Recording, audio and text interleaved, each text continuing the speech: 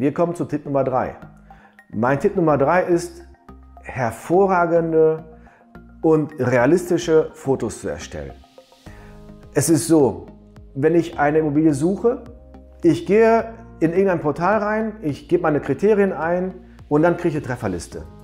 Das erste, was ich sehe, ist dieses erste Bild, dieses Vorschaubild. Das muss in der Regel das beste Bild sein, das schönste, das äh, am meisten aussagt, das, das muss einfach der Catcher sein. Weil das ist nämlich das, womit ich die Leute erstmal überhaupt dazu kriege, mein Inserat zu öffnen. Ähm, so, daher ganz wichtig.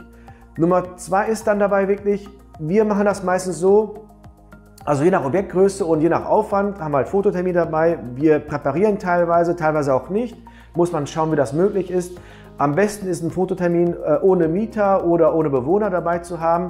Ganz persönliche Sachen immer wegnehmen oder später nachher rausretuschieren. Ähm, einige haben ja persönliche äh, Bilder an den, an den Wänden und, und wo auch immer stehen und Fotos von sich und so weiter. Das darf man nicht mit der veröffentlichen, ganz wichtig. Ähm, so, Weitwinkelobjektiv nehmen mit Stativ, eine vernünftige Kamera.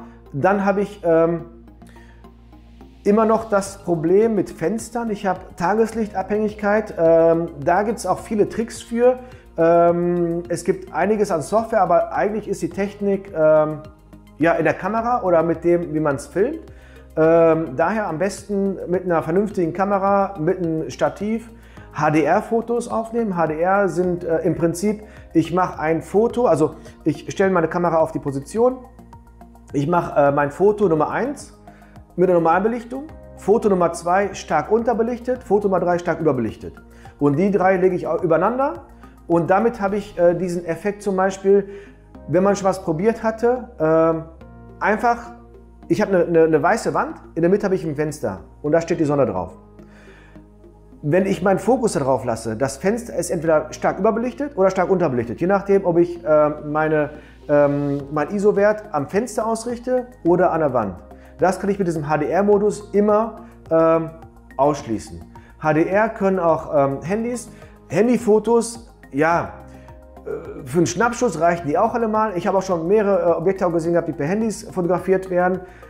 Ähm, kann man machen, ist nicht unser Anspruch. Also unser Anspruch ist ganz klar, wir machen extra Fototermine, die gehen teilweise drei, vier Stunden, je nachdem wie viele äh, Objekte, wie viele Wohnungen, mh, hm, wie viele Außenanlagen, wie viel Fläche ich dabei habe. Ganz klar ist immer wichtig, immer Außenansicht muss immer dabei sein, äh, Fassade, einmal straßenseitig, einmal rückseitig, wenn man es hinkriegt, je nachdem. Ähm, dann am besten mehrere Wohnungen. Ähm, ja, die äh, Kameras, man sagt immer, die schlucken viel Licht. Das heißt, ich brauche am besten mal externe Lichtquellen. Auf keinen Fall Blitz nehmen. Blitz hat, ähm, der, hat der, der ist sehr, sehr stark und gibt auch daher sehr, sehr starke Schatten ab. Das gibt so ein sehr unnatürliches Licht. Es gibt also besser irgendwie ausleuchten mit Leuchtmitteln, die man hat. Alle Lampen mal voll aufdrehen, die man in den Räumen hat. Ähm, weil man sagt immer, Kamera, die schluckt Licht. Ne? Äh, größte Herausforderung bei den Aufnahmen ist in der Regel das Badezimmer. Man hat nicht selten, ich sag mal so ein Gäste-WC, zwei Quadratmeter, dass man sich gerade hinsetzen kann, ein Waschbecken vor sich hat und wieder rausgehen kann. Sowas zu fotografieren ist immer sehr schwierig. Das geht natürlich immer nur mit extremen Weitwinkeln, mit einem 16er oder einem 14er Weitwinkel nur drauf. Ähm, ja, wichtig ist noch Farbe und Helligkeit zu wählen. Am besten, wenn es geht, äh, den ähm, Termin ähm, bei bewölktem Himmel nicht direkte Sonne vermeiden und am besten Regen vermeiden. Ne? Ähm, und dann möglichst, wenn man vernünftige Bilder hat, einmal ein bisschen aufarbeiten. Wobei das Aufarbeiten würde ich, ist bei uns fast gar nicht vorhanden. Wir machen HDR-Fotos, damit wir dieses dynamische Bild halt ähm, mit ähm, herstellen können.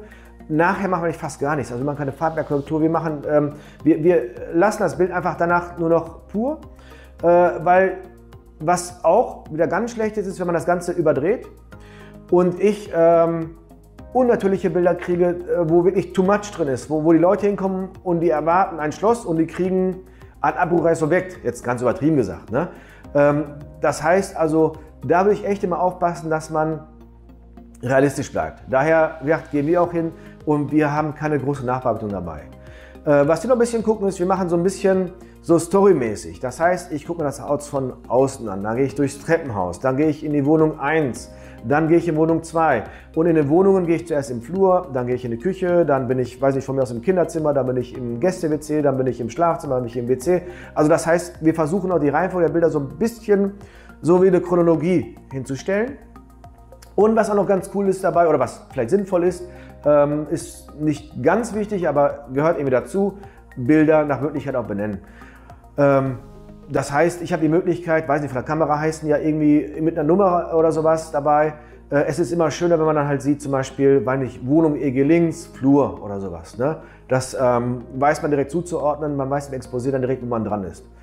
Daher wird also mein Tipp Nummer drei ist ganz wichtig, schöne, aber realistische Bilder zu schießen, die das Objekt, ich möchte es verkaufen, also die soll das Objekt schon schön präsentieren, aber nicht too much, weil dann habe ich das Problem, es kommen Leute hin, die erwarten was anderes, als was sie kriegen und die gehen wieder. Das ist Zeitverschwendung für mich und für den Interessenten, ist für keinen was gewonnen.